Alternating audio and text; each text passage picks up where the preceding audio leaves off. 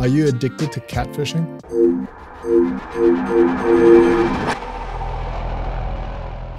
Luke Vu, PhD. I'm clinical psychologist, mental health expert, helping young men overcome digital addiction, depression, and anxiety. For this episode, I think we're going to have a mini disclaimer before our usual one. In no way, shape, or form do I or this channel endorse or encourage catfishing. We're simply trying to pull back the curtain from the other side. Now for the main disclaimer. I'm not just psych, this isn't treatment, and if you need a psych, you should find a registered, qualified psychologist in your area. So, what is catfishing?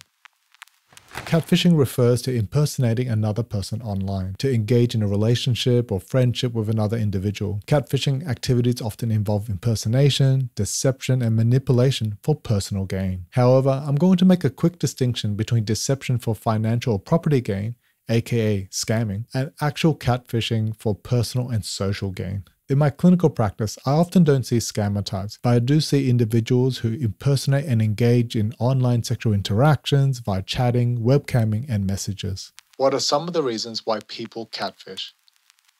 Technically, there's nothing illegal about catfishing another adult.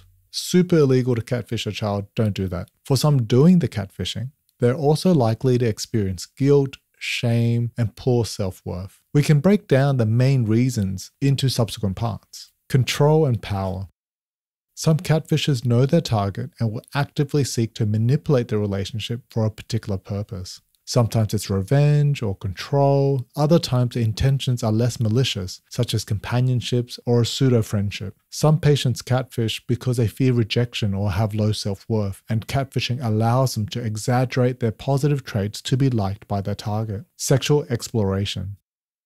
For some, impersonating someone online allows them to explore their desires without excessive judgment and with a degree of safety. You might find a supportive community that encourages you to express your sexual fantasies. Sometimes this might turn into your primary way to express your sexual desires and fantasies. Excitement and taboo.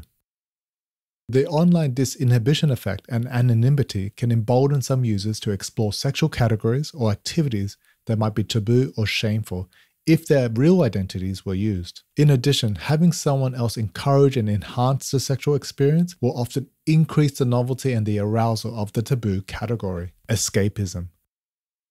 Because sexual catfishing is engaging, exciting, and novel, it can become a means to escape from negative emotions or dissatisfaction from real life. Sometimes this leads to further avoidance of problems, and those problems tend to grow.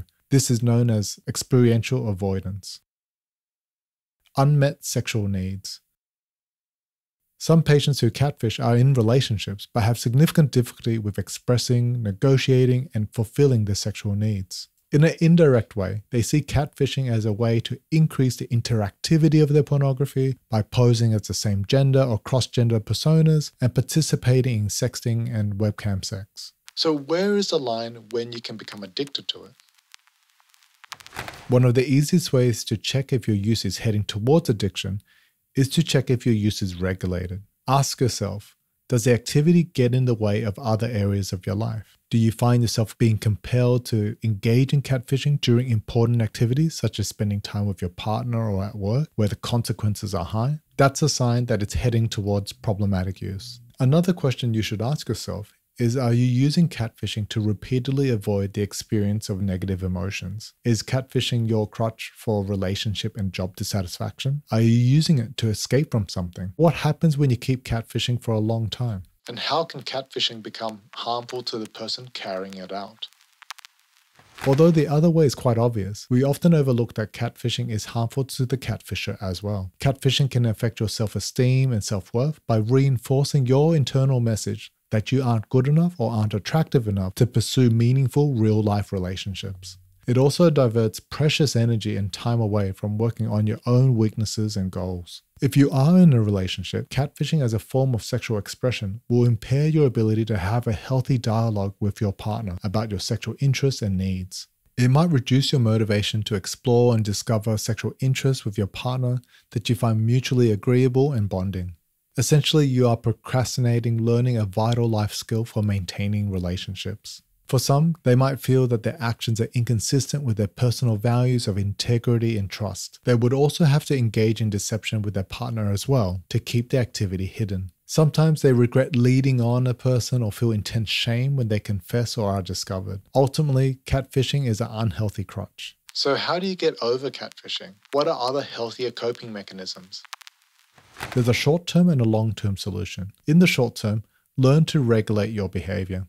Use a phased reduction approach and practice allocating time to the activity. As you reduce down, understand your urges and tactically manage them. Now, check out the description for links to some previous videos that might help. Remember, you can have a diverse sexual experience. Catfishing is not and should not be the only way to express your sexuality. In the long term, if catfishing is a result of unmet sexual needs with your partner, you'll have to learn how to identify your unmet sexual needs and practice starting a dialogue where you can both explore your sexual desires in a safer way with your partner. If it's driven by experiential avoidance, identify what emotions are driving the catfishing. This could be low self worth or low self esteem, anxiety, or depression.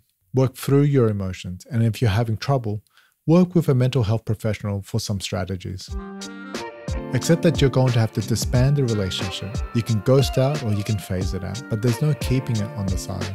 I really hope you found this useful. Don't forget to hit subscribe. I'm Luke Vu. Be kind, be you. Catch you next time.